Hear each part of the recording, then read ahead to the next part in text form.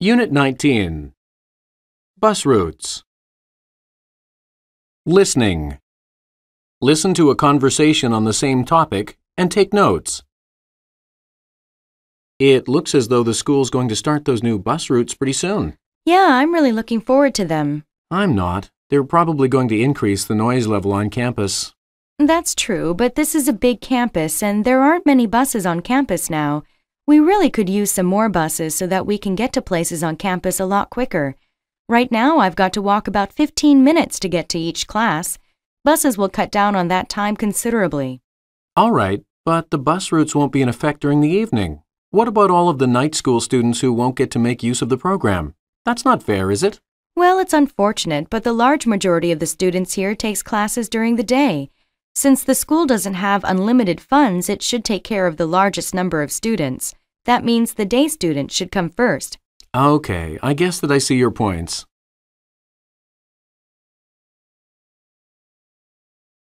Compare. Listen to a sample response and compare it with yours. The topic of the notice is some bus route changes that the school will be making on its campus. The woman supports these changes for a couple of reasons. According to the woman, there are not enough buses on campus. She states that she needs 15 minutes to walk to her classes. However, once she is able to take a bus, she will be able to get to her classes much faster than she is currently. While the man points out that the night school students will not benefit from these bus route changes, the woman counters by saying that the school doesn't have an unlimited amount of money. In the woman's mind, the school must take care of the day students first because they make up a majority of the student body.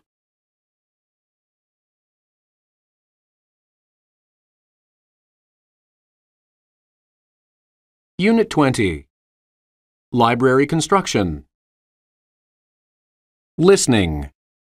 Listen to a conversation on the same topic and take notes. It seems they're finally putting a cafe in the library's basement. Yeah, I heard. I can't understand why they're doing such a thing. Really? Why do you say that? Well, I heard it's only going to sell junk food like donuts, chips, and candy bars. You know, stuff like that. What? No fruits or healthy alternatives? Nope, just junk food, which is terrible for people and really unhealthy. The cafe should at least offer some good food and drinks, but it won't. That's not good. No, it isn't. Also, it's simply too close. Well, it's inside the library. How do you think that will affect students? Well, it'll give them an easy excuse to procrastinate. They'll go down there and hang out with their friends instead of focusing on their schoolwork. At least having to go off campus keeps more students in the library because the shops are far away. I see your point. Yeah, the more I think about it, the more I think this new cafe in the library isn't such a good idea.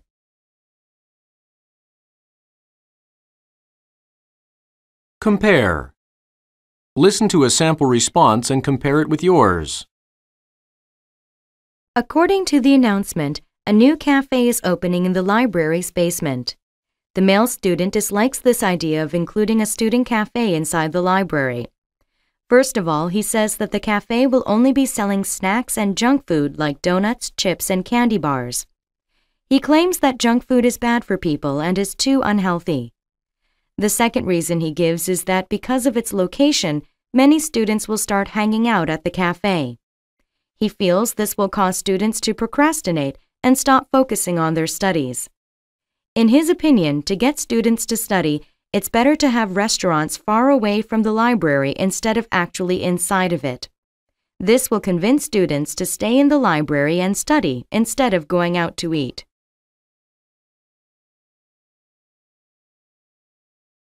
Unit 21 Student Affairs Listening. Listen to a conversation on the same topic and take notes. Hey, this is a spectacular idea. The school is moving elections for student representatives to September. That'll let freshmen be more involved in the elections. Yeah, maybe, but you know what? Lots of students are busy at the beginning of the year. They've got to fix their schedules and get used to their roommates and stuff. So? Well, I'm just saying that many students might not bother to vote if the elections are held too early in the school year. I probably won't vote if I'm occupied with getting used to starting school again. Okay, you have a point. But what about the freshmen? Don't you think it's great that they'll get involved in the election process? Hmm. It's fine that they'll get to vote, but they don't really know anything about the important issues on campus. So, how can they make good decisions without knowing all the facts? And they won't know much about the candidates either. They'll be voting, but they won't have information to go with. Well, I guess I see your points.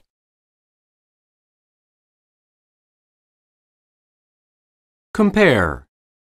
Listen to a sample response and compare it with yours. The man feels negatively toward the Student Activities Office's decision to move the date of the student representative elections from May to September. He gives two reasons for his negative feelings.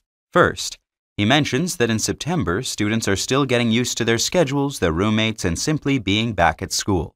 So, many students, including the student himself, might not vote if they're too busy with back to school activities.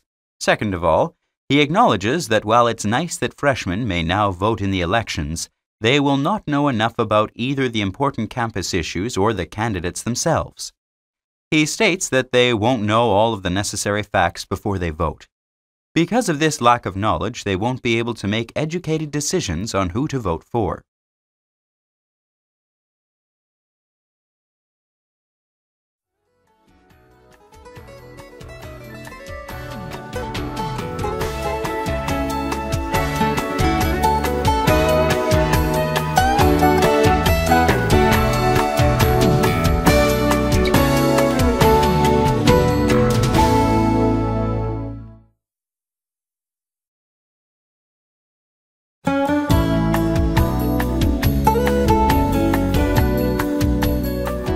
How to master skills for the TOEFL IBT speaking.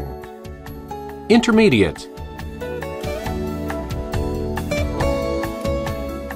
Chapter 4 Reading and Lecture.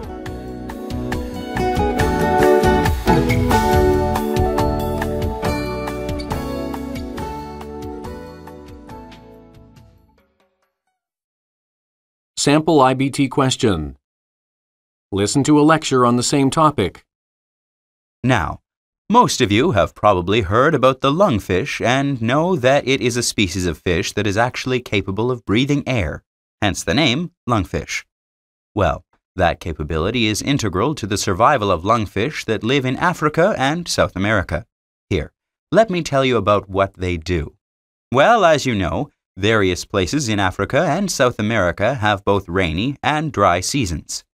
During the dry season, the pools of water where the lungfish live often simply evaporate from the heat. So, what do the lungfish do in order to survive? Well, they dig holes deep in the ground and cover themselves in slime and mud. This helps keep them cool in the heat. After that, they enter a period of dormancy. This slows down their body functions considerably. For example, their hearts might beat only three times a minute. Incredible, huh? And they might only breathe twice an hour. Simply put, they engage in almost no physical activity. They remain in this state for as long as the dry season lasts. Once the rain starts falling and the water returns, the lungfish can return to their normal existence of living in the water.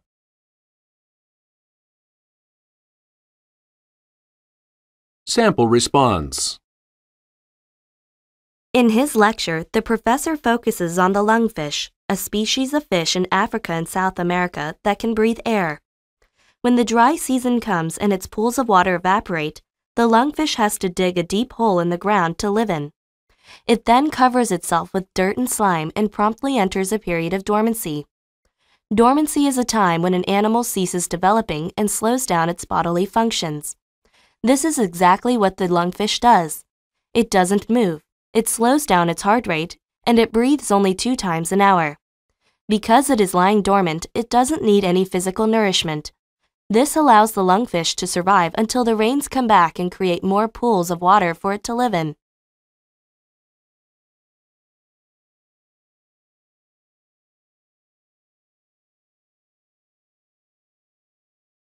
Unit 22 Biology 1 Listening Listen to a lecture about the same topic and take notes. We've talked about some of the animals in Africa and the roles they play in their environments, but let me tell you about the most important one. Are you ready? It's The elephant. Really? I'm serious. Actually, the elephant is a keystone species in its part of Africa. Here, let me explain it.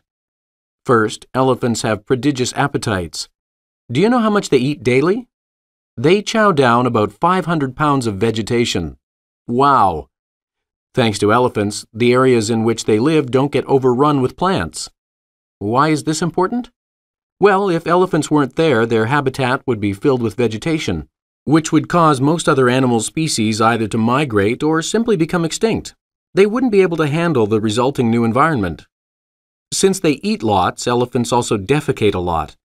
Because elephants are somewhat nomadic, they spread nutrients for the soil to absorb, and through their waste, they essentially plant seeds, which will grow up to be plants that other animals can feed upon. Clearly, then, elephants are crucial to their environment.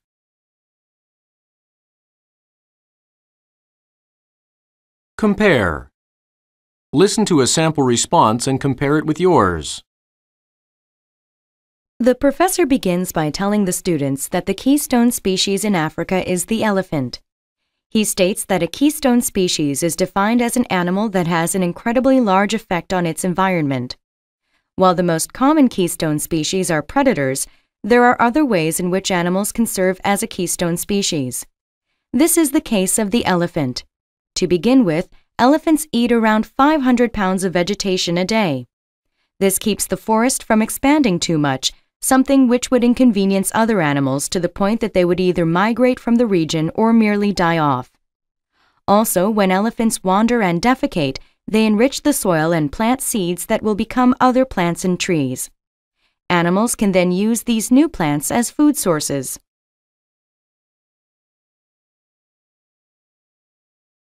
Unit 23 Sociology 1 Listening Listen to a lecture about the same topic and take notes. So, those are some of the roles you might find yourself playing at various times in your life. But I'm sure some of you are wondering what happens when there is a situation that arises which could be handled in uh, different ways, depending upon which role you decide to act out. Understand what I mean? Well, let me give you a couple of examples. I know many of you have part time jobs. Well, have there ever been cases where your job has conflicted with school? Probably. For example, assume that a student has a part time job at a restaurant. His boss tells him to come to work at 3 the next day, but the student has class at that time. So, which role does he play? That of the student or employee? He's conflicted. His choice will be determined by which role he chooses for himself. Here's another example.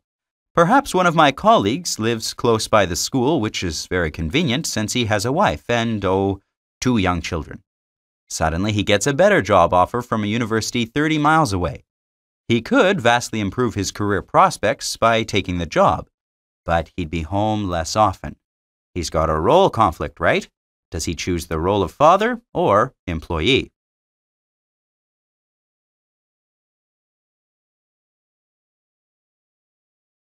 Compare. Listen to a sample response and compare it with yours.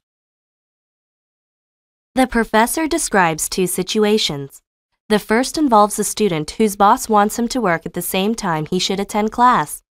The student must choose either to attend class or go to his job. The second situation involves a professor with a wife and young children. If he takes a new job, he will improve his career, but will not be able to spend much time with his family. These are both examples of role conflict. In role conflict, depending upon which role the person chooses, the response to a situation will be different. In these two instances, the reactions will be opposites. The student can work or not work, depending upon his choice of roles, and the professor can take or leave the job, depending upon the role he takes.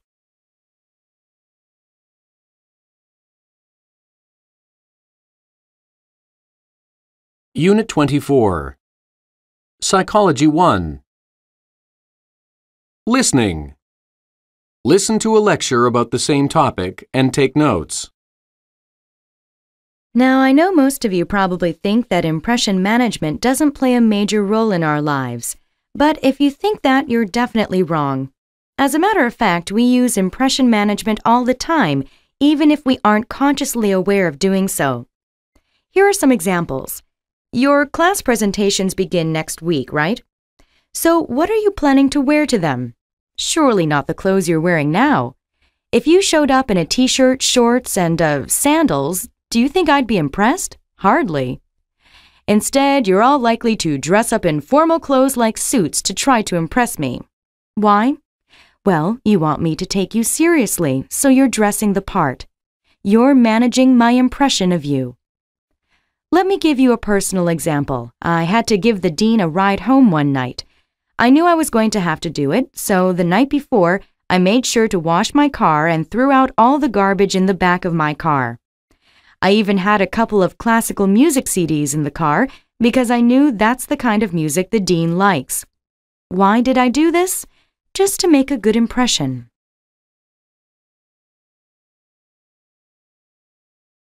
Compare. Listen to a sample response and compare it with yours. In the course of the lecture, the professor provides two instances in which people were conscious of the image they were projecting.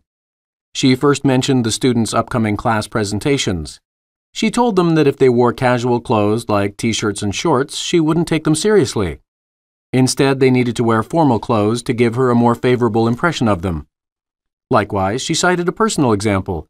Before she drove the dean home one night, she cleaned her car and prepared some classical music to impress him. Both instances are related to impression management in that the people, the students, and the professor are trying to show themselves in the best possible light to create a positive impression. They are also preventing the person from finding out anything negative about them, another important aspect of impression management.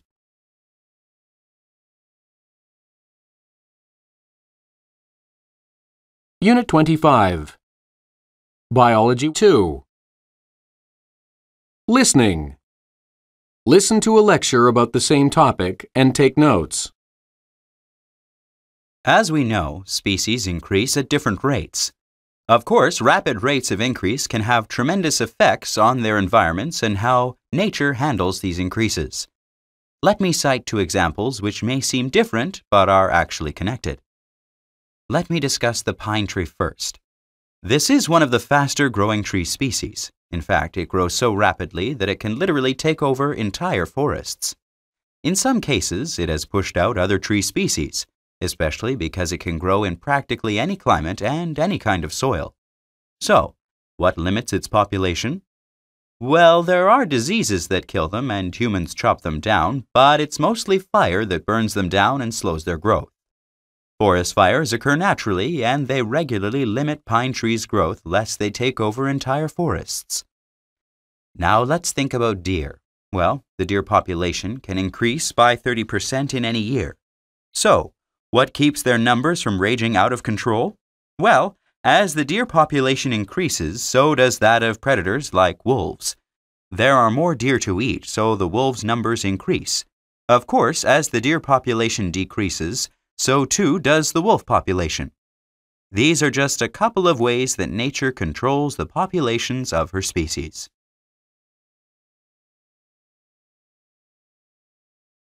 Compare. Listen to a sample response and compare it with yours. During his lecture, the professor mentions excessive and rapid population growth by both pine trees and deer. According to the professor, pine trees can survive almost anywhere in any climate and soil, and they also grow very rapidly, which is something that causes them to take over forests. Also, the professor mentions that deer can increase their numbers by 30% in a single year. This can also cause overpopulation problems for forests. The reading states that population growth can be controlled by many different factors, which thereby keep the balance of nature secure. Fire, caused by nature, helps to limit the number of pine trees, while wolves and other predators can proliferate, thereby killing and eating the deer. These are just two methods nature uses to control the rapid population growth of various species.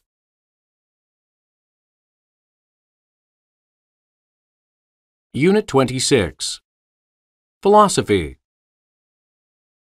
Listening Listen to a lecture about the same topic and take notes. Let me give you an example of the dangers of thinking too much. Here's a situation. You wake up and look out your window to see the tree in front of your house is burning. After extinguishing the fire, you start thinking about how it started. You arrive at two conclusions. First, someone went to your house and set the tree on fire. Okay, let's run down this line of reasoning. Why did he do it? Does someone dislike you that much?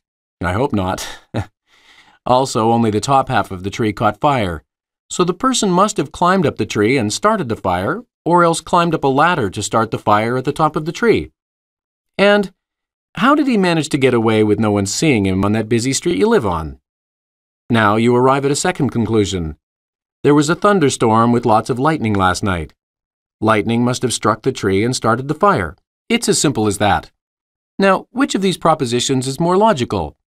I'd say it's the simplest one. The first has too many variables and is highly unlikely. When you get down to it, the simplest solution tends also to be the best one.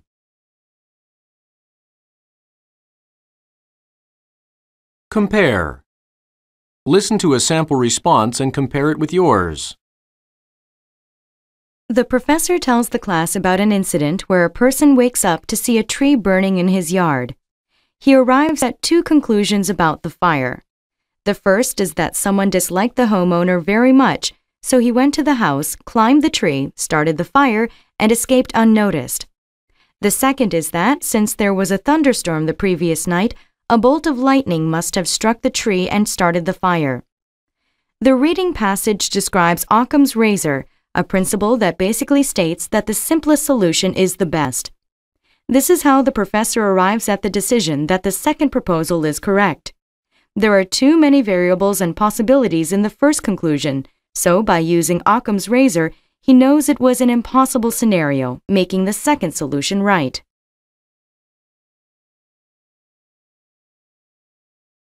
Unit 27 Sociology 2 Listening Listen to a lecture about the same topic and take notes. Let's say that two bad car accidents occur in the same place. However, one accident occurs in the morning when many people are commuting to work, and the other one occurs at night when there are few people on the road. Now, for which accident are people more likely to stop and render assistance to the injured? The morning or night accident? Anyone? Well, surprisingly enough, statistics show that people in the uh, night accident are more likely to receive assistance from a passing motorist. Let me explain why. It's called diffusion of responsibility.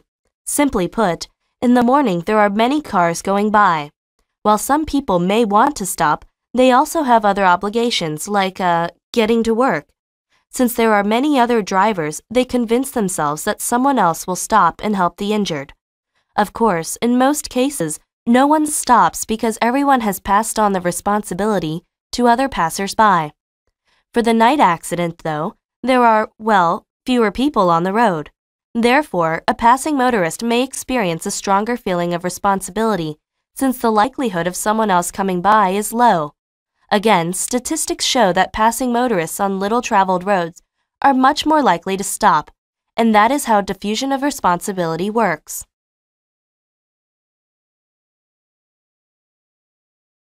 Compare.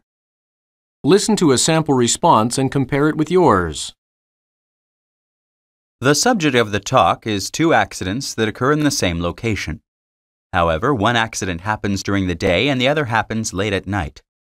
According to the professor's statistics, the people injured at night are more likely to receive help than those injured during the day. This fact is strongly related to the diffusion of responsibility. This is the concept that absolves people from personal responsibility when they're in a large group situations. In the morning accident, there are numerous motorists passing by. Therefore, no one feels a sense of individual responsibility. These people all expect or hope that someone else will stop to help. But at night, there are fewer people driving, so there is no diffusion of responsibility. A passing driver will stop to help because he feels personally responsible for rendering assistance.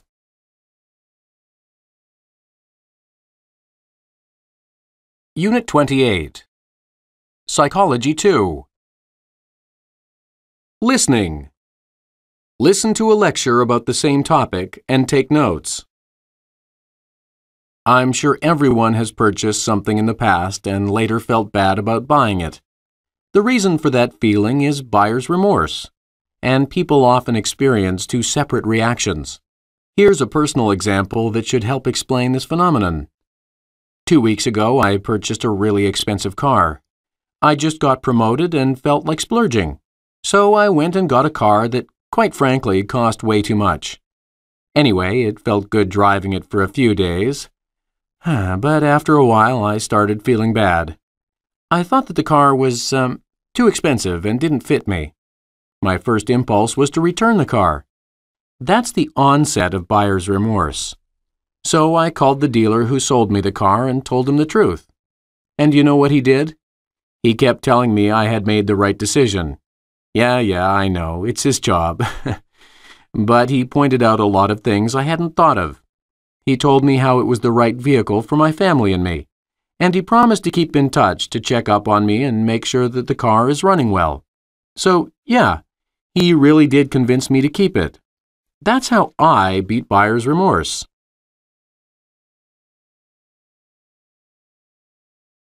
Compare. Listen to a sample response and compare it with yours.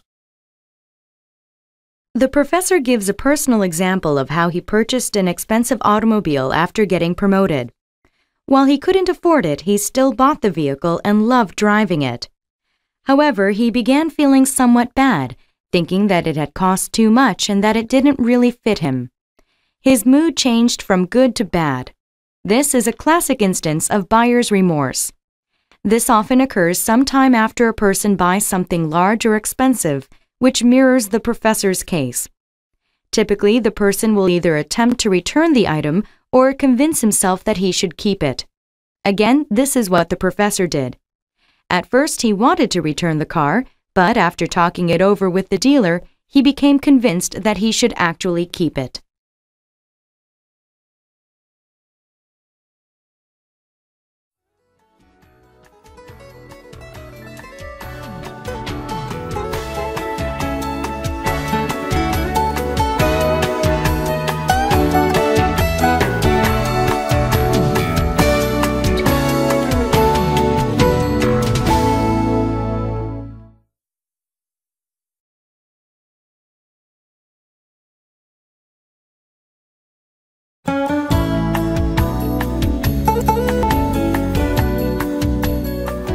How to master skills for the TOEFL IBT speaking. Intermediate. Chapter 5 Conversation.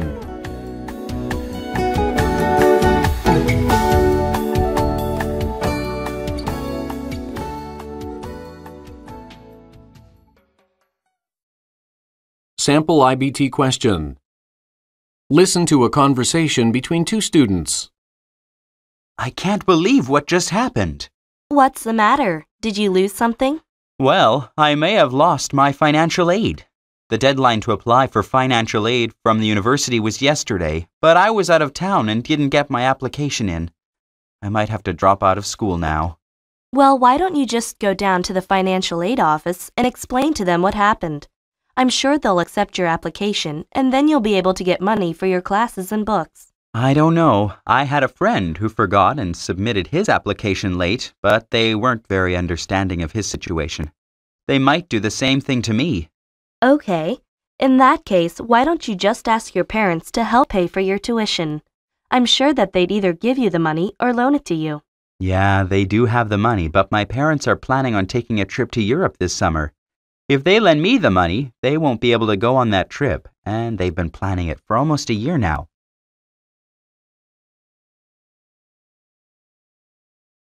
Sample response. The male student's problem is that he missed the deadline to apply for financial aid and may have to quit attending school if he loses his financial support. In my opinion, the best solution to his problem is for him to go to the financial aid office and explain his situation.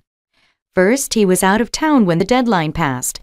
The university should accept that as a legitimate excuse and allow him to submit his application one day late.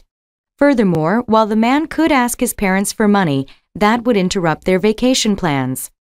Instead, he should try to get the university to provide him with a scholarship that would pay the costs of his tuition and books. This is much better than asking for money he'd have to pay back later.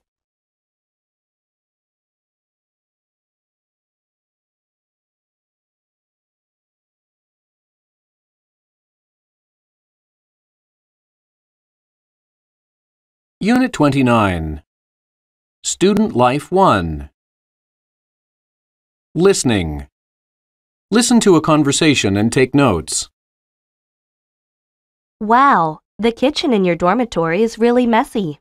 Well, we thought we had it taken care of, but now we're back to square one. Oh, you tried the weekly schedule with your roommates? We tried it for about three days, but nobody followed it. We are all too absent minded. Well, why don't you hire someone to clean it up for you every week? Just pay someone to give it a thorough cleaning. Then you won't have to worry about it. Actually, we thought of that. We called up some cleaning services, but they charge pretty high prices. We'd have trouble being able to afford it. What else could you do then? Well, I guess we could create a kind of sign in board. Whenever someone uses the kitchen, he has to sign in. Then, if he doesn't clean up after himself, we'll know who made the mess. That way, nobody will have to clean up someone else's mess all the time. That might work, but what if someone doesn't sign in or forgets? Then you'll be accusing each other of messing it up all over again. That's true, but we'd better decide something soon, though. The kitchen is a wreck.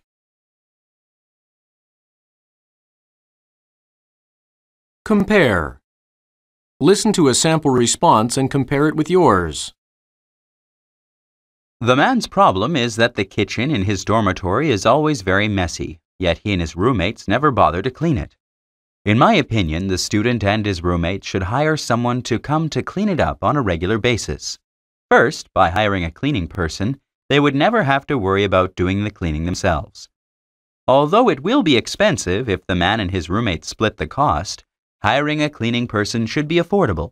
Second of all, a person coming to clean the kitchen would ensure that they always have a hygienic place in which to cook. This is important since a dirty kitchen can attract bugs and also smell bad.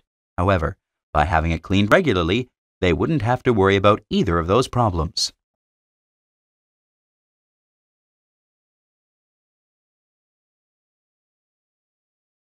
Unit 30. Internships. Listening. Listen to a conversation and take notes.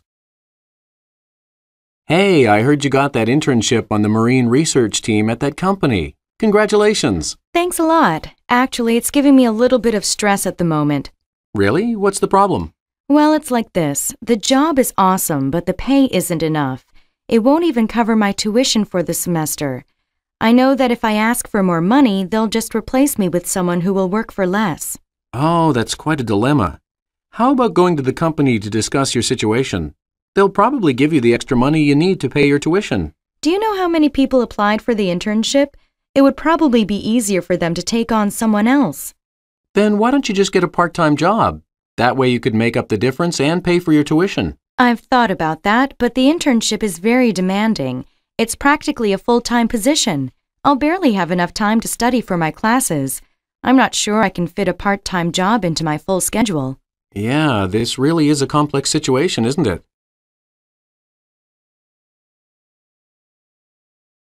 Compare. Listen to a sample response and compare it with yours. The female student's complaint is that the internship she just got hired for pays so little money that she won't even be able to cover her tuition with the money she earns. I agree with the man's suggestion that she find a part time job. Working part time will get her the money she requires to pay for her tuition. She needs the extra money, so she really has no choice but to work, no matter how busy it makes her. In addition, if she finds a part time job, she'll be able to keep her internship. The woman says there were many applicants for it, so it will most likely provide her with valuable working experience. When she applies for jobs or to graduate schools, her experience will benefit her greatly, so she needs to work to keep her internship.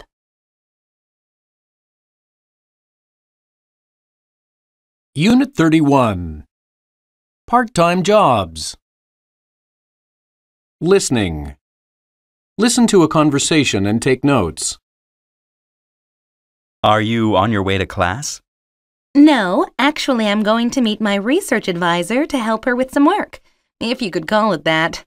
What do you mean by that? Well, I never do any research for her. She just has me type things up she's already researched, or asks me to make photocopies of papers and documents. That doesn't sound like research to me.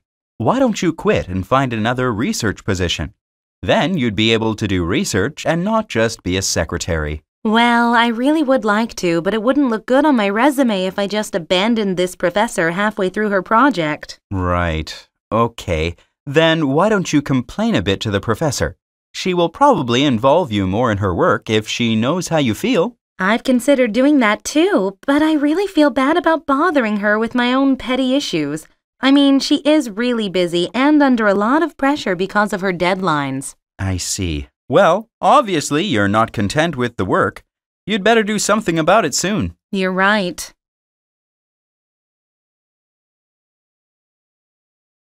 Compare. Listen to a sample response and compare it with yours. The female student has a problem in that she's supposed to be conducting research for a professor, but the professor has her doing secretarial jobs like making photocopies. The man encourages the woman to quit her current job and find a different one, and I strongly feel that this is the best solution. The woman isn't interested in being a secretary. By finding a new job, she could get some experience conducting research, which is what she really wants to do. Additionally, doing research at another job would make the woman happier.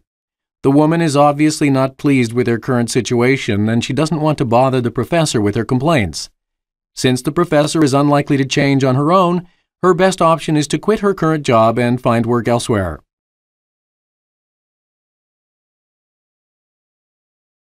Unit 32 Transportation Listening Listen to a conversation and take notes. What happened to you? I went skydiving with my boyfriend last weekend and fractured my ankle. Skydiving? Wow.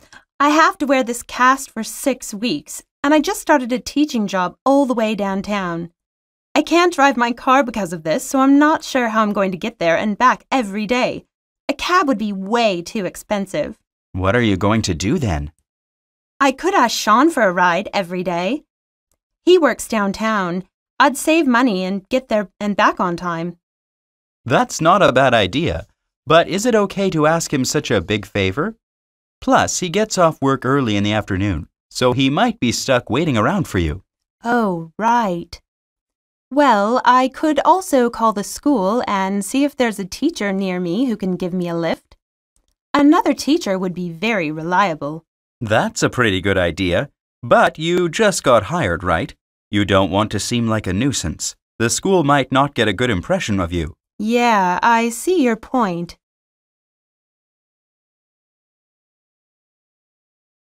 Compare. Listen to a sample response and compare it with yours. What happened to the woman is that she broke her ankle skydiving, so her leg's in a cast. Now she can't drive her car, so she needs to find another way to get to her new job downtown. I agree with the man's suggestion that she ask the school if any teachers in her neighborhood could give her a ride to work. To begin with, this would be the most convenient way to get to work. A teacher living in her neighborhood probably wouldn't mind giving her a ride since they're both starting and finishing work at the same time. Also, accidents happen, so the school should understand the woman's situation and not consider her request a bother. Since the woman will only need help for six weeks, the school shouldn't have a problem assisting her.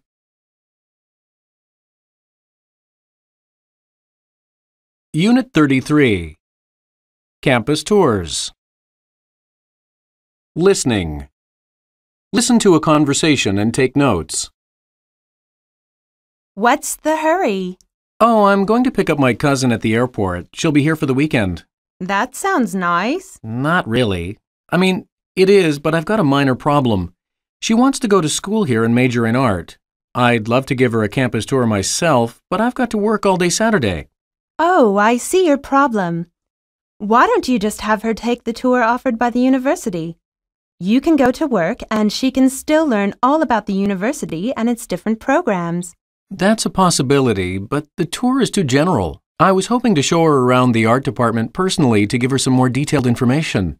I see.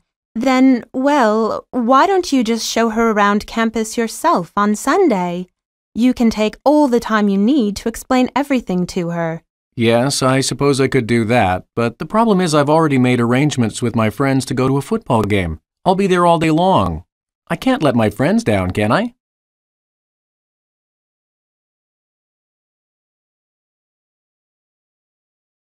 Compare. Listen to a sample response and compare it with yours. The man's problem is that his cousin is coming to town on the weekend. She wants to look at the school, but the man is going to be busy on both Saturday and Sunday. In my opinion, the man's best option is to cancel his Sunday plans and show his cousin around campus on Sunday. I support this decision because touring the campus together on Sunday would give them lots of time to look at the campus in detail. The university tour is too general and won't show everything. And his cousin would like to look at the art department in depth. In addition, the man should put family ahead of his own personal pleasure.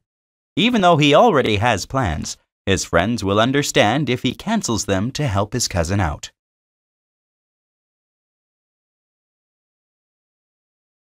Unit 34 Student Life 2 Listening. Listen to a conversation and take notes. What's the matter with you? It's my roommate. She never cleans up after herself. There's still a plate of spaghetti that she made last week sitting on the coffee table. That's pretty gross. Tell me about it. I've talked to her about it thousands of times, and she always promises to clean up after herself, but she's all talk. You should go to the housing office and file a complaint against her. Then she'll have to start cleaning or she could get kicked out of the dorm. You have the right to live in a clean place. Yeah, but I'd hate for her to get kicked out. I'm not sure she can afford off campus housing. Well, what else could you do? I hate to offer this as a solution because it isn't my fault. But I could just find a new place and live by myself. Being alone would let me live in a clean, stress free environment. That's true, but you'd lose your security deposit for the dorm and moving would be expensive. Plus, she is the one causing all of the problems. It should be her who moves. Well, I have to do something soon. I can't continue living like this.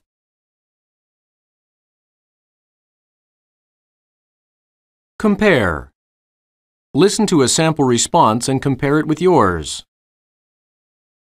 The issue that the woman is dealing with is that her roommate is messy and never cleans up after herself, which has made her dorm room dirty and given the woman lots of stress. Clearly, the better suggestion the man makes is for the woman to file a complaint about her roommate with the housing office. If her roommate won't voluntarily clean up after herself, she should be made to do so. When you live with another person, you're obliged to be respectful of that person. And cleaning is one way to show respect. Second of all, the woman has a right to live in a clean environment that's free from stress. When you live in a dorm, you agree to follow its standards. So the woman's roommate should either start cleaning or find another place to live.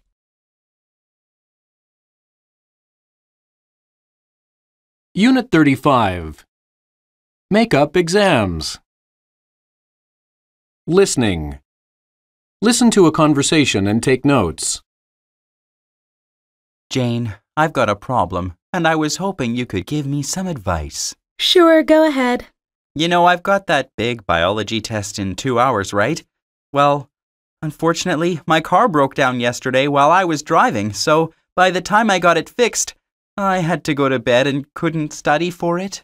That doesn't sound good. So what are you going to do? Well, I could simply take the makeup exam later this week. Then I could study more. The professor is permitting all the students who went on the field trip on Sunday to take the test this Friday. That sounds good. Go for it. But I, uh, didn't go on the field trip, so I'm not sure if Professor Taylor will allow me to take the test late. Okay, that's not good. Well, why don't you just take the test today? You've attended every class, so you should be familiar with the material.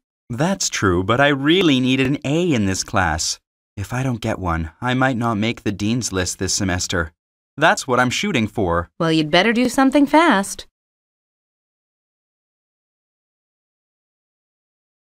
Compare. Listen to a sample response and compare it with yours. The problem is that the man has an exam in two hours but couldn't study for it the night before since his car broke down and he had to get it fixed. During the conversation, the woman tells the man to take his biology test this day. I agree with her. First, she reasons that he's attended all of the classes, so he knows the material. He's obviously a good student since he's trying to make the dean's list, so he should be smart enough to do well on the test. Furthermore, the man should do the right thing and take the test on the proper day. He doesn't qualify to take the makeup exam since he didn't go on the field trip.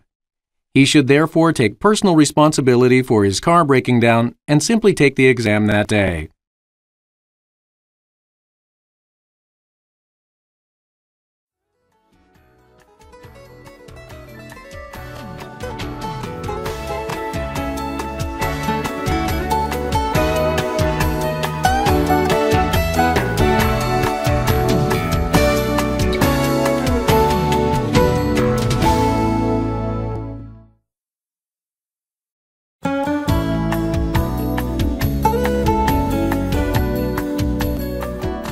How to master skills for the TOEFL IBT speaking. Intermediate. Chapter 6 Lecture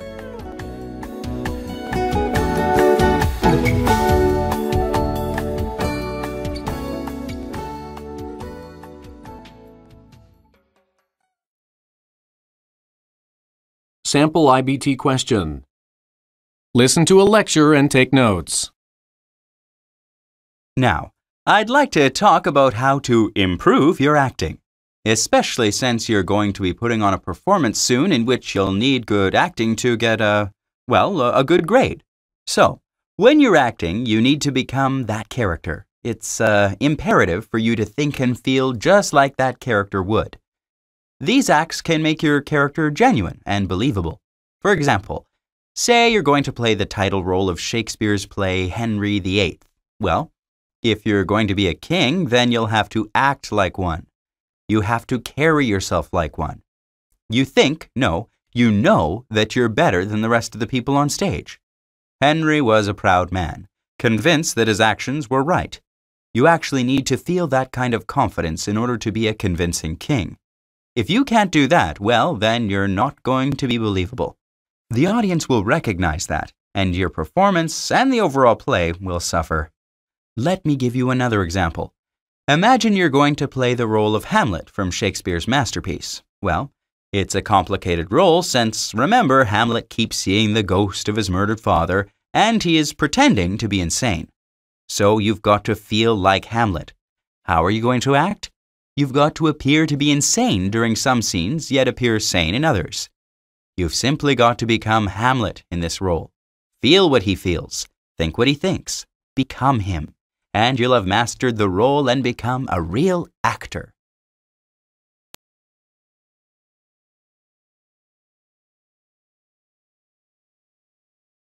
Sample response. The professor provides a couple of examples of how an actor can become more convincing to the audience when playing various roles. He uses two different examples from Shakespeare in his lecture. First, he discusses Henry VIII from the play with the same name. He declares that an actor must act completely like a king in order to get that role right. Since Henry was very proud and confident, an actor must convey those same feelings in order to be a convincing king. The next example the professor uses is the role of Hamlet. He mentions that Hamlet is a complicated role since he is seeing ghosts and pretending to be insane. The professor insists that the actor must actually become Hamlet by feeling the things he feels and thinking the thoughts he thinks.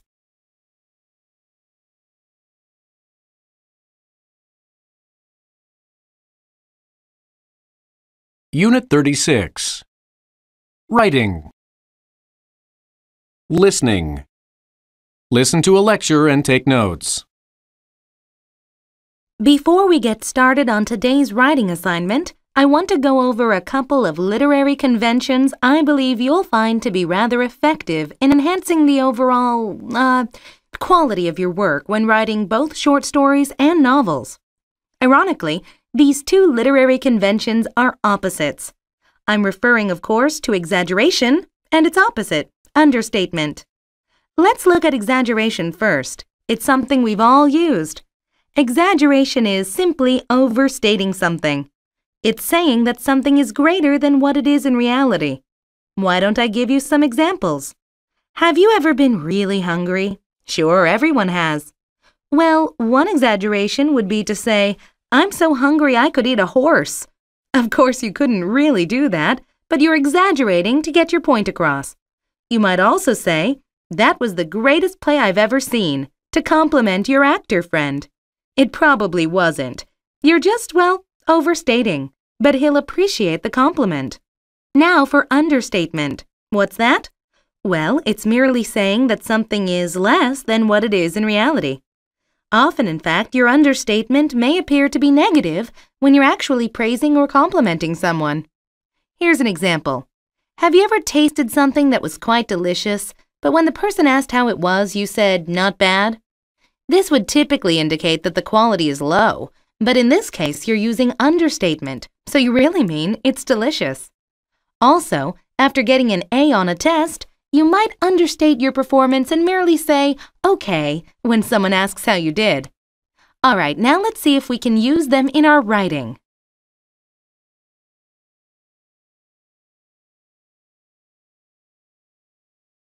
Compare.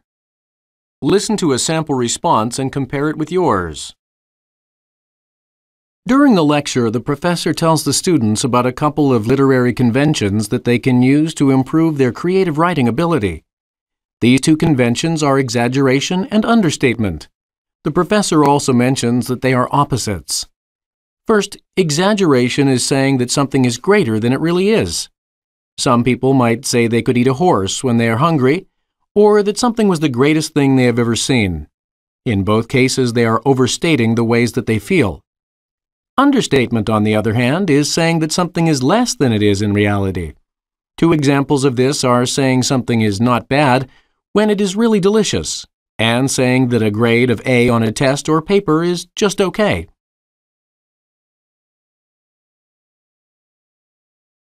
Unit 37 Botany Listening Listen to a lecture and take notes. Let's move on to something different.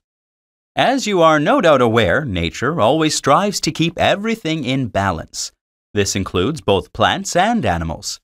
By keeping a perfect balance, no one species can take over and upset the stability of an environment.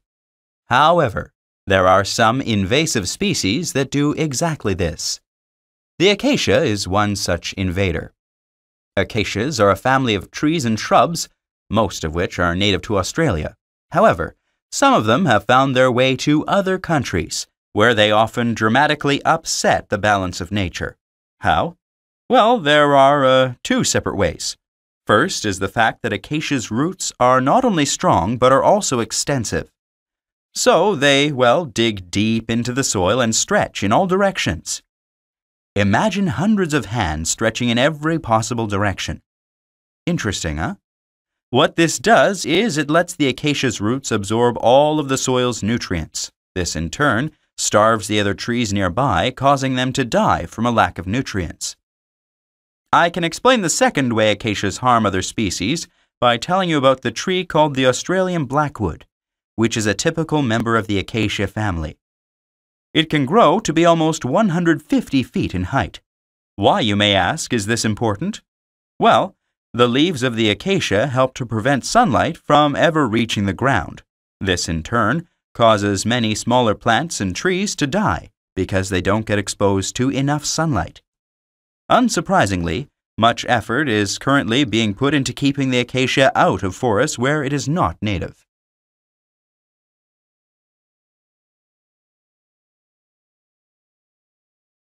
Compare.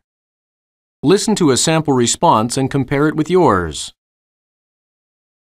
The professor's lecture mentions that invasive species often disrupt the balance of nature by changing the environment.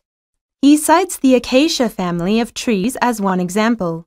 To begin with, the professor mentions the extensive root system of these trees. He states that they are very far reaching and that they tend to absorb a lot of nutrients from the ground. In fact, they absorb so many nutrients that other plants and trees nearby don't get enough, which causes them to die.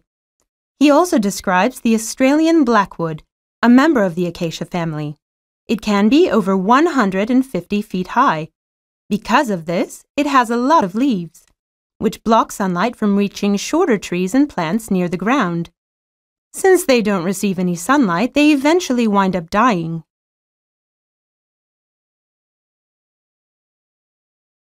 Unit 38 Education Listening Listen to a lecture and take notes. Parents often have to resort to giving rewards to their children to entice them to do various actions. We've already discussed the psychological reasoning behind this. However, strangely enough, there are actually a couple of different reactions by children when they are rewarded. It basically depends upon the child's attitude toward the action for which he is being rewarded. The results may actually uh, surprise you. For example, let's consider a young girl who really hates cleaning her room. Out of all of her chores, that's the one she dislikes the most and often refuses to do.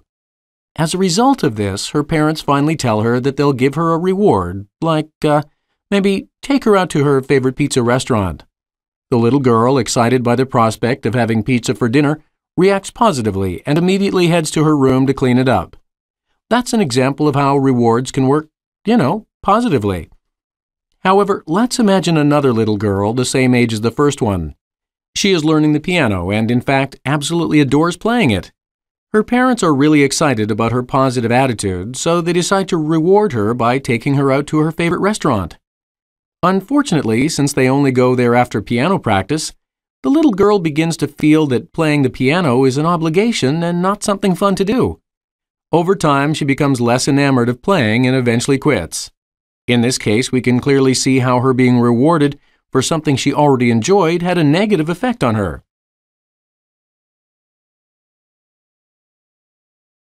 Compare. Listen to a sample response and compare it with yours. The professor says that children react differently to rewards depending upon the reason they are getting them. In his first example, he mentions a little girl who hates cleaning her room. Her parents convince her to do so by offering her a reward. They will take her out to her favorite pizza restaurant. The girl reacts positively and goes to clean her room in anticipation of getting to eat pizza. The second example is about a girl who enjoys playing the piano.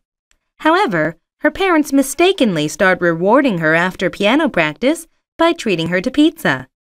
Because that's the only time she ever eats it, playing the piano becomes a burden, so she starts to dislike playing it and eventually quits. This is an example of a reward with a negative result.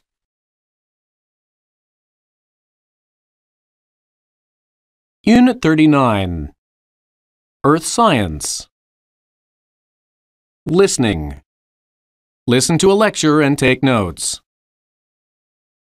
Okay, so that concludes my lecture on dinosaurs and their natural habitats. Now, let's move to one of Earth's greatest mysteries. It is, of course, what caused the dinosaurs to go extinct? After all, these were enormous creatures, much larger than anything living now. They were so strong and lived everywhere. So, what made them suddenly die? There are a couple of major theories on dinosaur extinction. Let me expand upon them for you. The first is that there was a large meteor or asteroid that hit Earth. Some scientists have even, in their opinions, pinpointed the exact places where these celestial objects struck the planet. Anyway, what happened, they say, is that after the strike, lots of dirt and debris were thrown into the atmosphere. There was so much dust that it actually blocked the sun. This cooled the planet, and with a lack of sunlight caused most plant life to die. The herbivorous dinosaurs, unable to eat, first died, and then the carnivorous ones followed them down the path to extinction.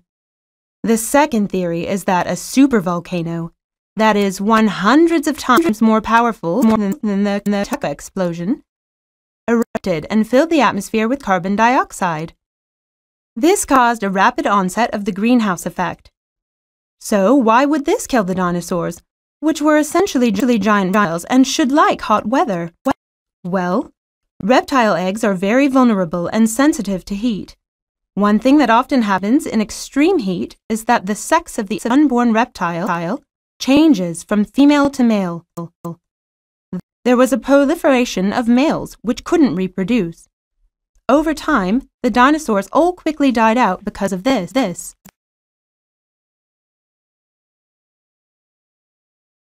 Compare. Listen to a sample response and compare it and compare it. Scores. The professor states, states that the dinosaurs ruled, ruled but suddenly became extinct. She gives two different, different theories to express appearance.